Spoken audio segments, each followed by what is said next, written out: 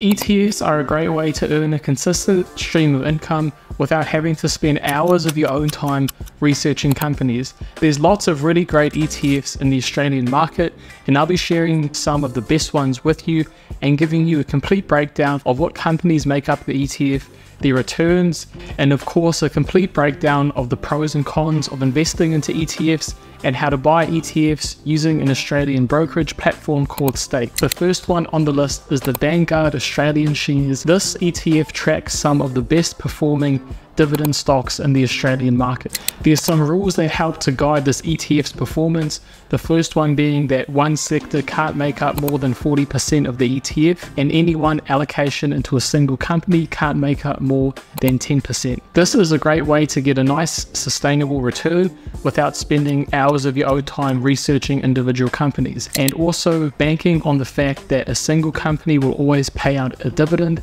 can be quite challenging. Even the four major banks, NAB, Commonwealth Bank of Australia, Westpac and ANZ, couldn't pay out their dividend during the pandemic, whereas having your dividend coming from an ETF where there's multiple different companies making up that single investment, you get a lot more security that you're always going to be paid out that nice consistent dividend return. The top 10 holdings are made up of companies like BHP, Commonwealth Bank of Australia, Wesfarmers, Westpac, Bank of Australia, and National Australia Bank. You can see that BHP Group and Commonwealth Bank make up about 10% of the whole ETF's holdings. Over the past five years, it's gone up 30%, meaning if you had invested $10,000 five years ago, your investment would now be worth $13,000. That return does not factor in the dividend yield of 4.8%. It's got a total of 72 companies held in the ETF, and it's got an expense ratio or management fee of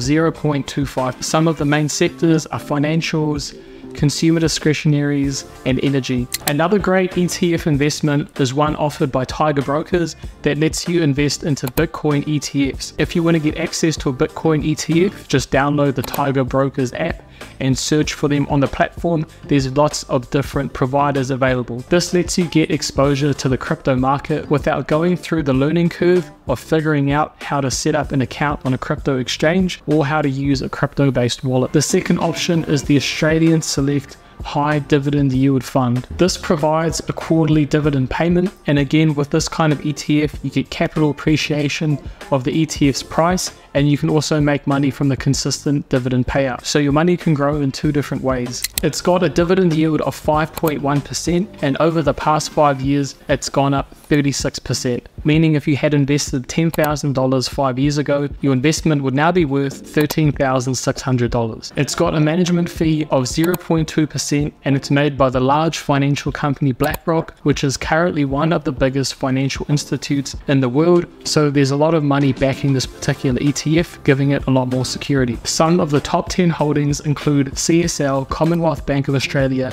and BHP. The main sectors are financials, healthcare, and materials. Financials making up over 34%, so it's spread out amongst lots of different sectors, and there's a bit of crossover between the two ETFs so far on this list in terms of the top 10 holdings and the sectors that they invest into. The third ETF on this list is the ASX Dividend Opportunities ESG Screened ETF. This ETF invests into Australia's top 50 biggest dividend yielding companies. It again gives you a quarterly dividend payment and is owned by BlackRock. Some of the top 10 holdings include West Wesfarmers, Commonwealth Bank of Australia, and BHP Group. The main sectors are materials, financials, and energy, with materials making up about 30%. The top 10 holdings make up about 70% of this whole ETF, and it's got a management fee of 0.23%. The actual number of holdings in the ETF isn't quite 50, it's just sitting at 48.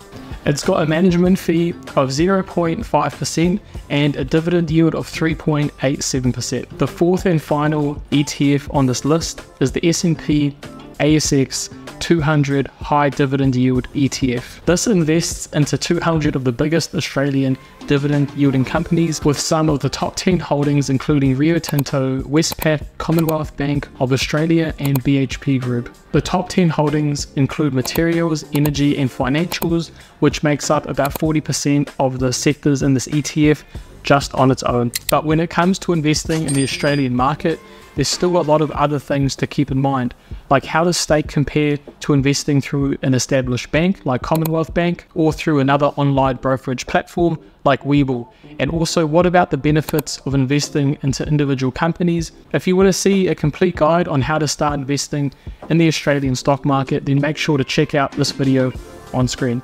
Now that you're set up with a profile on Stake, I'll just be running you through how to buy shares of one of these ETFs using the Stake platform on my mobile phone. So once you head over to Stake, this is what the home screen looks like. So there's a search icon at the bottom of the page, just click on that and then search in the particular ETF that you want to invest into. So I've got the iShares MSCI Australia Dividend ETF. So you can click on that or you can manually search it as well. And then it'll give you a bit of a price breakdown across different time points. So at the moment, it's one day. You can go three months, one year, or three years as well. And then it'll give you a breakdown about the stock, a bit of a blurb, what the ETF is about, any news related to it, and then it has the buying options at the bottom. So just click on buy, and then I always go with market buy, which just means that you're buying the shares of this ETF at the current market price. So at the moment, it's $23 a share, so you're just buying it at that standard market cost. So you just click on the amount that you want to invest in. So let's say it was $100, just type that in, click done, and then at the moment, I don't have that much money on my stake account, but you type that in and you go review buy, and that's all you have to do to buy shares of a company using the platform stake.